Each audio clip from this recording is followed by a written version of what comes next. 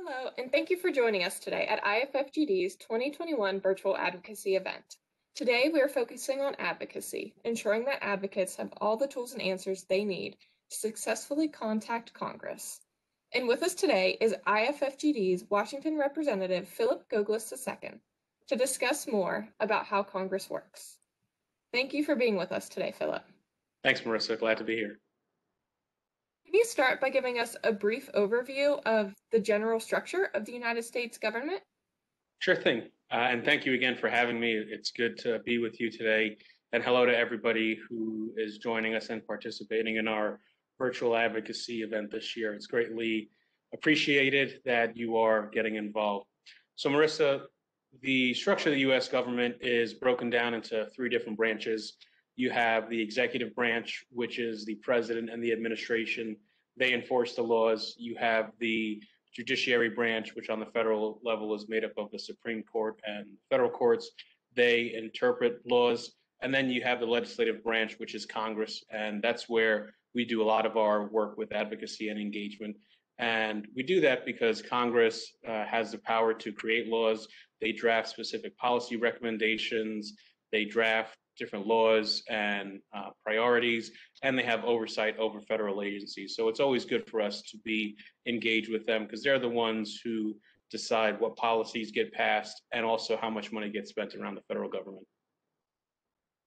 Thank you. That was such a great general overview of the United States government. And of course, if anyone has any further questions, you can feel free to include those in the chat as we will be doing a Q&A at the end of this presentation.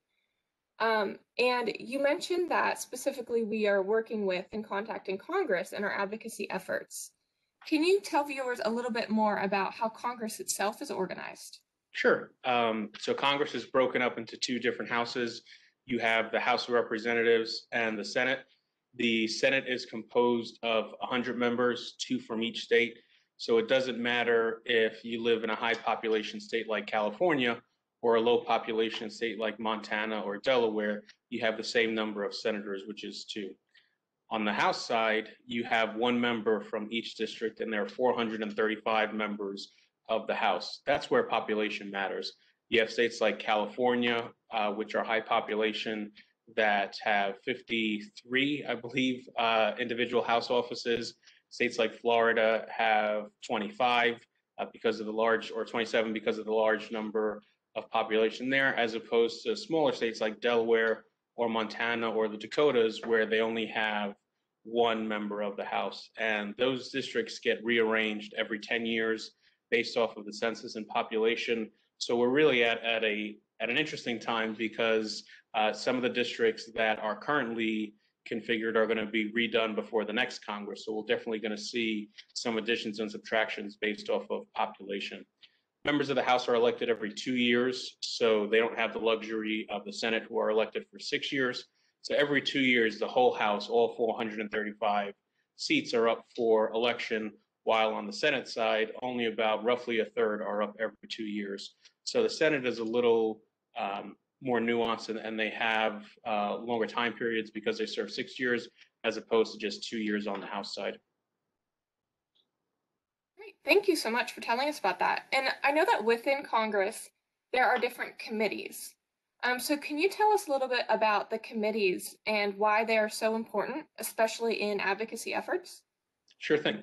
So as I mentioned, why we deal with Congress is they have unique authority to create and draft specific policies. They have the ability of, and they have the responsibility of oversight for federal agencies, but they also have control over the purse strings. So they're the ones who decide how much money is spent at different federal agencies, how much money the National Institutes of Health receives, how much money the Centers for Disease Control and Prevention receives, with as well as specific recommendations on how to spend some of that money. So within that uh, framework, we have different congressional committees of jurisdiction that we work with. On the House and Senate side, both have appropriation committees which they are the ones who decide how much money is spent across different federal agencies. On the Senate side, you have the Health, Education, Labor, and Pensions Committee. That's a committee of jurisdiction that has oversight over federal health agencies as well as other programs. They work with the Department of Education, they work with HHS, um, across all of their different areas as well. And it's because they have that oversight of that committee that we work very closely with them because they also help implement some specific policies for federal agencies and for our communities.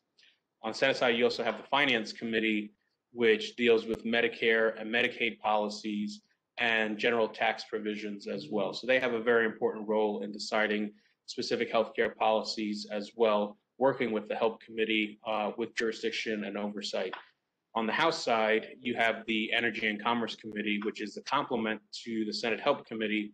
They're the committee of jurisdiction with oversight over the National Institutes of Health, over the Centers for Disease Control and Prevention, FDA, and other federal uh, agencies.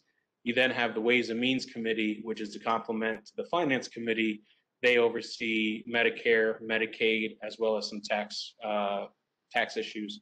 So we specifically work with those six committees because those decisions that they make have a great um, have a great bearing on on different things for our community. Appropriations, how much money is spent on research or for public education and awareness programs, help and energy and commerce, finance, and ways and means over specific policies and implementations. The Affordable Care Act worked its way through all of those committees, for example, uh, issues on uh, patient access works its way through those committees as well. So those are the committees with health policy oversight, and they advance those specific priorities while appropriation covers the specific amount of money that's spent at each federal agency. Thank you so much for that great overview. And it's wonderful to know that Congress is so heavily organized and that there are specific committees, specific representatives that really have more of a say within certain parts of advocacy so that we can really target our advocacy efforts and know where we'll make the most impact. Right, that's definitely true. It does help us to be very strategic in our advocacy efforts, who serves on relevant committees, and who's able to really make a difference. Now, that's not to say that advocating with every senator or every House member is not important, because how these members of these committees make decisions is based off of feedback from their colleagues as well. So we work very importantly on creating the National Grassroots Advocacy Network, where we have folks from all across the country engaging with their members. But at the same time, we also have some of these strategic relations, relationships that help us advance some of our specific priorities.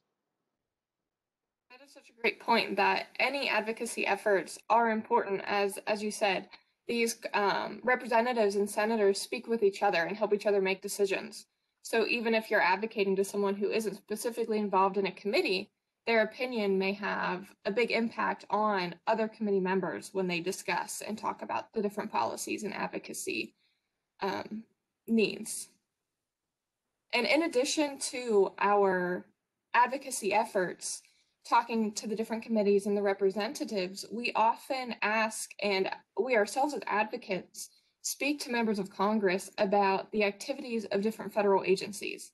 And I know you briefly touched on that when you talked about where the committees have their different jurisdictions and what they work with and work in.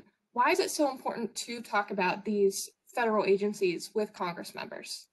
So it's critically important because of the two roles that the House and the Senate serve, specifically, again, those six committees that we've talked about.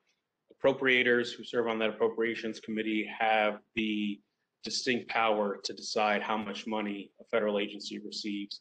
Because of that, federal agencies are always very responsive to the desires, the needs, the questions of members of the appropriations committee because they're the ones who decide how much money is afforded or available for research or for different things. Because they have the power of the purse, it gives them, Congress, the ability to influence some of the process and to make specific recommendations for federal agencies. They will allocate a certain amount of funding and will sometimes say, you know, we encourage you to use this funding to do a little more research or to do a little more work in this area. And then the other committees, such as Energy and Commerce, help Ways and Means and Finance, they're critically important because as we are seeing now with the new administration, there are these different nominees for different uh, important roles within federal agencies. And on the Senate side, all of these nominees have to go through confirmation hearings where they sit in front of the committees of jurisdiction. For example, the nominee for Secretary of Health and Human Services is going to be going in front of the Health, Education, Labor, and Pensions Committee, where he'll answer questions from committee members about what his vision is for the agency, how to respond to the current pandemic, and, and what he believes the role of his agency is. That's important because now that committee will continue to follow up with the nominee about different decisions that he makes if he is confirmed and then follow up with some specific recommendations. So the reason why we engage with these committees is, is to really serve as a check on the federal agencies, make sure that the things that we are discussing with our members of Congress, you know, the federal agencies are following the guidance. If we're asking for increased funds or, or if we're making specific recommendations about how to move forward. Um, you know, one example, and I'll, i know that uh, this will get in, more into this a little later on, you know, one of our requests is for the CDC's chronic disease education and awareness program. And what's important about that is Congress will provide the funding for that, but they also want to make sure that the federal agency positively responds to what their recommendations are. So the agencies rely on Congress for the funding as well as uh, some recommendations about what they would like to see with that funding. And then agencies respond, hopefully most times in a positive way to what uh, Congress's recommendations are. If they don't, Congress has the power to bring in uh, federal agency heads and ask them why they aren't doing what Congress has asked them to do and really motivate them to adopt and make decisions that has congressional intent. Thank you so much for that overview of that, Philip. And um, as you briefly mentioned, some of the agencies such as CDC and NIH, um, can you just briefly talk about a few of these agencies that we discuss and just a little bit about them for people who may not be as familiar with what the CDC, NIH, and other agencies are. Sure. So we work very closely with the National Institutes of Health.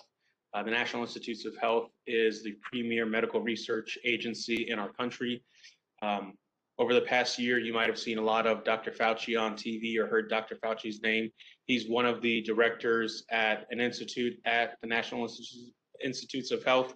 Um, they support medical research. They're divided into different specialty institutes, which cover different parts. Um, we're very fortunate that Ceciel is an advisory council member for the NIDDK um, Institute, which covers research on GI issues as well as digestive uh, issues as well. So each institute has a specific role in supporting uh, research. What they do is that basic science research.